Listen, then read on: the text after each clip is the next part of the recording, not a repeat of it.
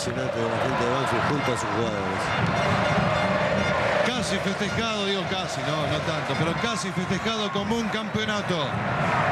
Vamos con los Y goles, es ¿te el, parece? es el clásico del barrio, ¿no? Aquí vemos los goles, minuto 11, penal sobre Carrusca de Caranta, muy bien sancionado. Remata Boloña, el arquero de Banfield, y marca el 1 a 0. Y aquí a los 44, Machucarro va a consumar una notable jugada en contragolpe.